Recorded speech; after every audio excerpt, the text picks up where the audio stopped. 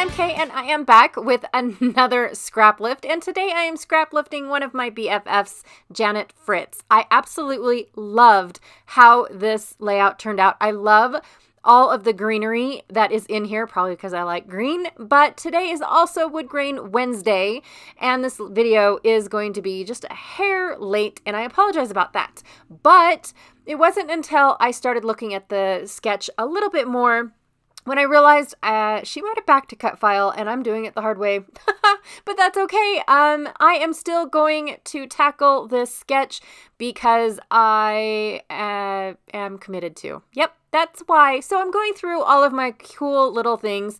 I have some wood pieces that are uh, hexagons, and then I've sprayed these P13s that um, these little P13 wooden pieces.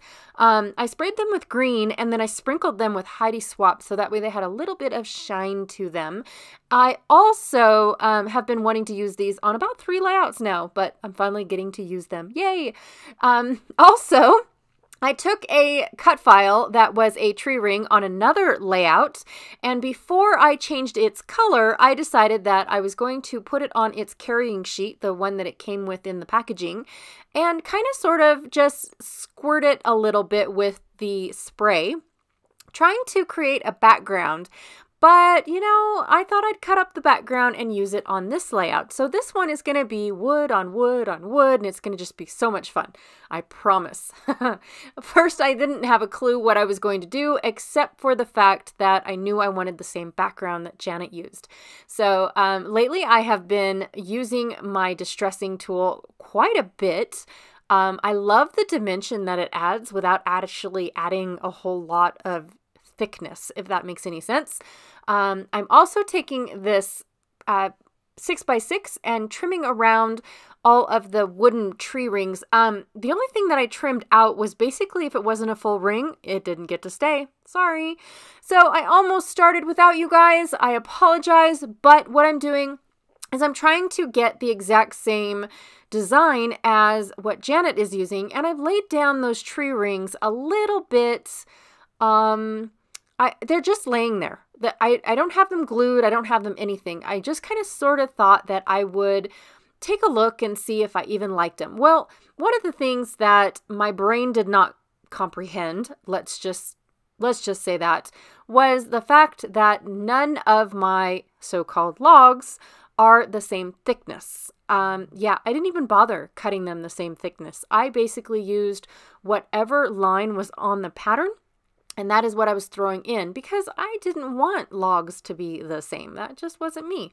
So I do have a little bit of, um, you know, struggle here and there trying to get everything to work, um, especially like right in here. I needed a wider log because I didn't realize that it's the it's the pieces that make the pattern yeah, go figure, huh? So I am going to record this just a little bit so you guys can see it. And um, I for basically the entire portion of of this part here, I, I don't know how to say it. The tree rings that I cut out that are like sprayed from the the faux stencil, yep, let's call it that. Um, they stay right where they're at. I don't move them at all. But I kind of wanted to show you guys how I attempted to make the you know the design that is on Janet's um, Janet's layout. I didn't need a cut file. I was able to make the design as is. In fact, I had enough little uh, logs. I had enough of those to where I could have probably actually um what is the word? what is that word? I could have oh, filled in the whole paper if I wanted to. Um, but for some reason, I thought that since my pictures were going to cover up the center, then I wasn't going to do the centers. I mean, that's just silly. At least in my brain, it is. All right, so let's fast forward just a little bit more. And I am finished. Oh my goodness, here we are. Sorry about that, you guys, but that was massively boring. You guys did not want to watch that, seriously. So I'm actually taking five seconds and talking to my son. I apologize about that. Um, but I'm not liking it. See how the tree rings kind of got lost, and basically all they did was fill in the gap. Uh, one of the things that I also noticed was when I lay down my photos, I can see that solid line of where the tree ring was. So, first thing I'm trying to do is decide how I want my pattern to go because there was a specific tree ring that I wanted to use to put my title on. But of course, you know, by the time that I got that far, I totally forgot about it. So, yeah. So, um, we're not going to talk about that no more. I, I find it kind of funny because I have something in my brain, but then by the time that I get to it, uh, the layout's already gone way past what I was even envisioning. So, yeah. Anywho, here is that um, little six by six paper that I cut apart, and then I decided that I wanted it to be at the top of my photos and at the bottom of my photos. So I'm going to tuck in the bottom portion, which actually fits in beautifully, to be honest, the way that I have my photos set as of now. and of course, I can't forget that teeny tiny little tree ring. No trees left behind on this page. so, anyways, um, I do like how it is, but I do have to say that I stepped away from it because I don't like it. I am not very happy, and where I wanted to put my title is not going where I wanted it, if that makes sense. The photos are a little bit too left handed, and I definitely am covering up all the tree ring. I mean, you can't, the large tree rings, you just, you couldn't even tell that they were under there. So, of course, like I said, I stepped away and now I am coming back and tearing apart my layout. Yes, I am.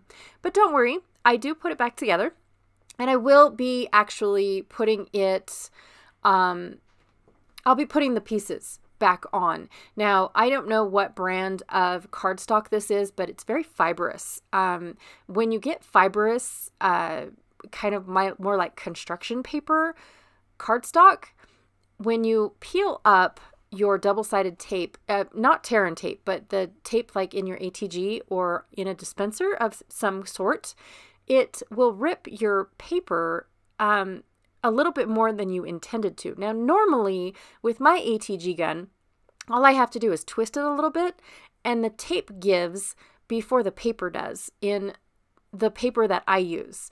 Like I said, this one came in my well, I did I guess I didn't tell you guys. This one came in my not just for boys kit club kit. Uh, one of them. And like I said, I don't know what brand it is, but it was very fibrous and so it tore um, it it it just ripped like construction paper does, and I don't really like that. I don't like the little the little hairs that you get from um, you know not being able to lift up something cleanly. Anyways, uh, get off that pedestal. I'm just I just love my cardstock that I use, and um, even though it is a little bit more expensive than the open open stock cardstock at big box stores, I don't have that luxury. And so I order all my cardstock online, but it's also where you can order it in bulk. Um, just to let you know, while I'm playing with a bunch of tree rings, um, I order my cardstock in bulk from Close to My Heart. So you can order a 12 pack or a 24 pack. And like if you only want six sheets, you can order six of one color, two of another, two of another, but the minimum is two of one color. And I think that's pretty nice, especially when um, you know, you you like cardstock, but you don't need cardstock, if that makes sense, or you like cardstock, but you don't have room for a big bundle of cardstock. So I think it works out really well.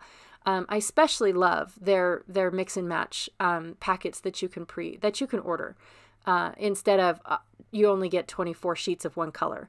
I, I really do like the mix and match. Anyways, what am I doing? Well, I love having the tree rings up front and forward just a little bit more. But as you can see, I have that line. I don't have a full tree ring. I never had a full tree ring because when I sprayed the cut file, it was more meant for a background. So I like my backgrounds to fall off the page and make it look like they came into the page rather than they're central on the page. So I'm trying to figure out how on earth can I get you know, can I get the effect that I am looking for? Basically, All I'm asking for is I want tree rings. I want large tree rings and small tree rings and in between tree rings. I mean, can I please get a tree ring? Please. so I'm now debating that I like the smaller edge on these two tree rings more than I like the larger edge. So I eventually come to the conclusion that I'm going to have to cut them apart. Yep, because I like those two tree rings down at the bottom, but I can't get this cluster of tree rings to cover up the gap.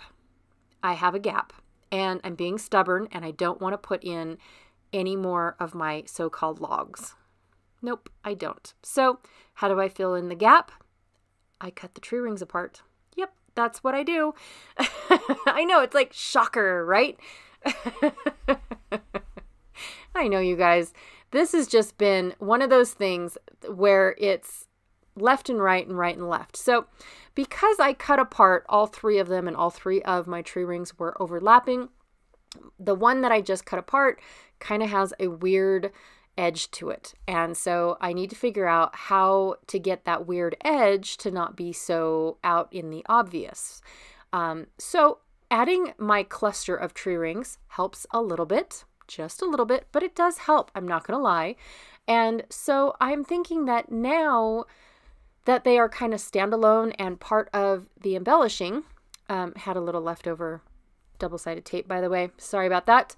I decided that I'm going to ink the edges then that will help them give dimension and pop off the page. Now I'm just using whatever ink I had left over on my sponge. I have no idea what color it was or, um, you know, what, I have no idea. I don't even know if it's the same, like, matchy matchy.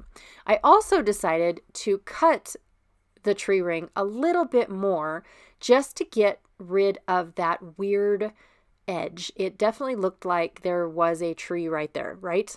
it looked like it grew into another tree. And yeah, I needed to get rid of it. So I just kind of made it a little bit smaller and now I really like it. I am very, very happy with the way that it is looking.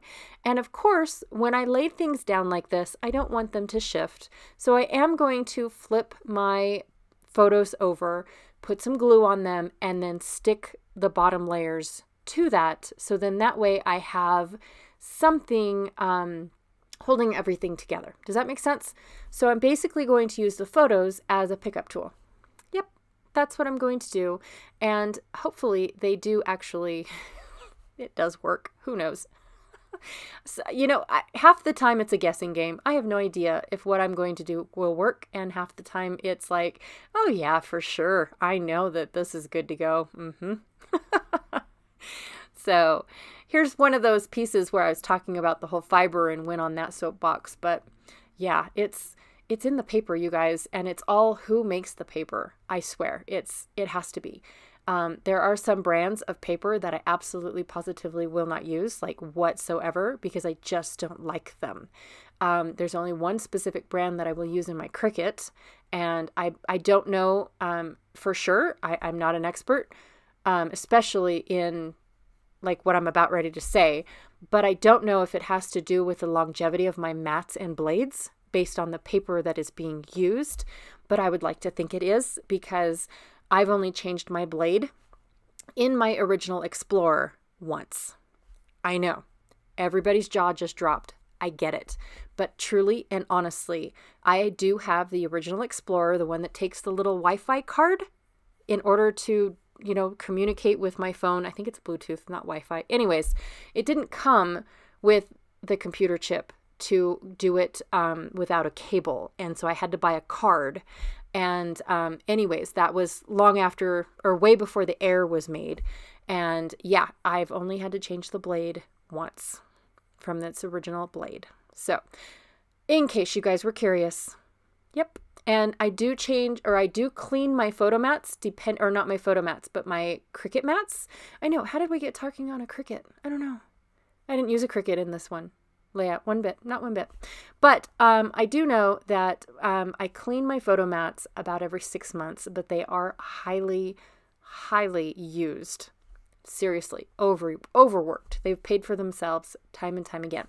Anyways, um, so these P13 embellishments a, they're uber thin, very delicate, and did I mention thin? Yes. B, they are all held together by little strips of the same material, wood or balsa wood or something like that. Um, and so you have to cut them apart. Well, in cutting them apart, I broke some, and that's okay. you know, they're going to get tucked under anyways, and all throughout the wood. I like this little pop of green because it also kind of uh, it kind of resembles where my kids were, you know, air quoting stacking wood. so um, I also I, also include their ages because um, ever since my kids were little, they've always if we're outside, they're outside. If we are um, doing something in the kitchen, they're in the kitchen. Um, our, our kids have always been with us no matter what. So my daughter is three, my youngest, and um, my middle son is six. I don't know where my youngest son or my um, I don't know where my youngest son is, but I do know where my two older children are uh, for this photo. However, um, three and six, and we were cutting up uh, wood for our fireplace in um, our old house, and they wanted to help stack the wood. And so basically, dad would hand them pieces that they could handle, you know, very tiny pieces. Um, and, uh, you know, they were just throwing them in a pile, and that was just adorable. Um, and so, yeah, it was, it was more work to try and make it uniform than it was to, um, you know, to just throw it in a pile. Yep. And we will collect it when we collect it, and when it's in the house, we'll make it a little bit more uniform. But this was just so much fun.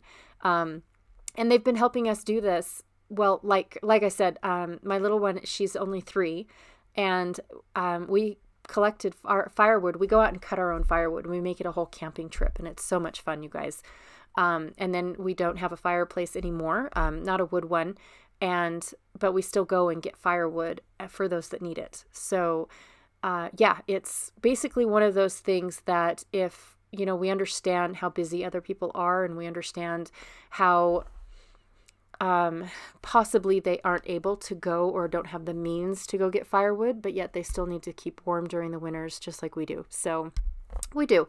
We go out and we collect firewood and we do a whole truckload, which we don't have a full bed, um, you know, a full size truck bed. And so it's whatever fits in our bed. We bring it home. We make it to where it can fit in a, in a fireplace and then um, we call the church and find out which you know who has fireplaces and we start calling around and seeing who needs who needs wood.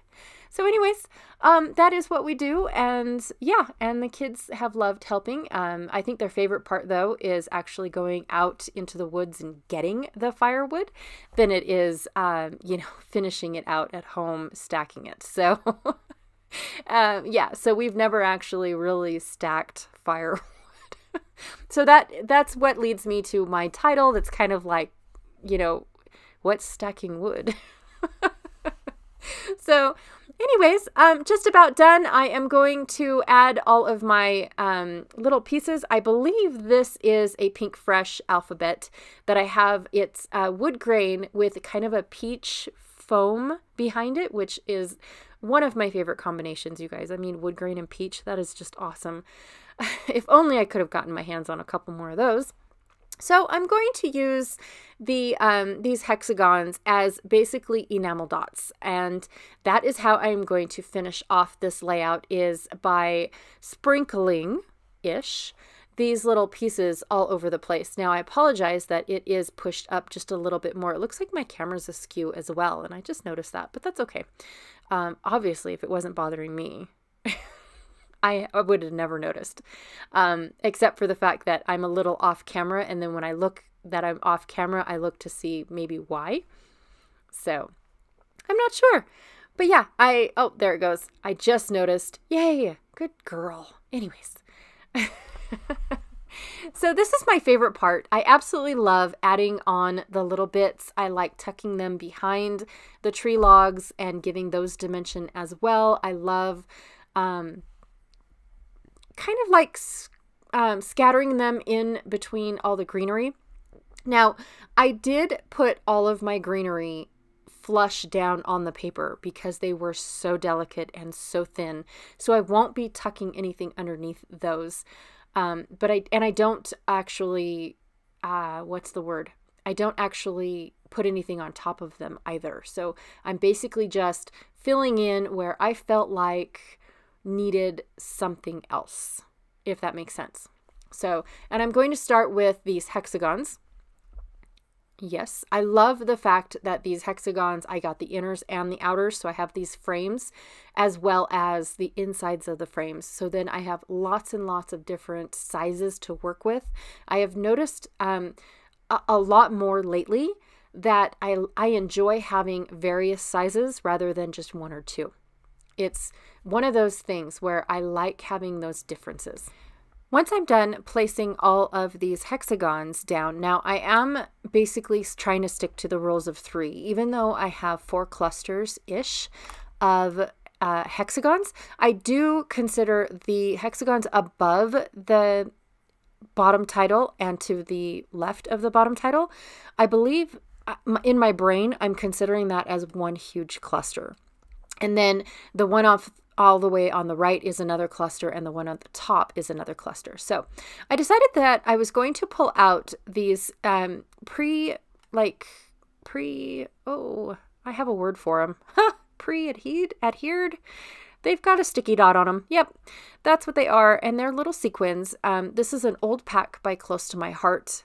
Uh, wow, way back in the day. I'm going to have to say like 12 or 13 20, 2012 or 2013 anyways um, i bought a bunch of them because i loved the colors in them. And so yeah i added some sequins all over the place just to kind of uh, you know give it that little bit more of a sprinkle. And here it is. That is the rest of my layout I want to thank Janet Fritz for allowing me to scrap lift her today. Actually, she didn't give me permission. Uh, I just did it because I wanted to.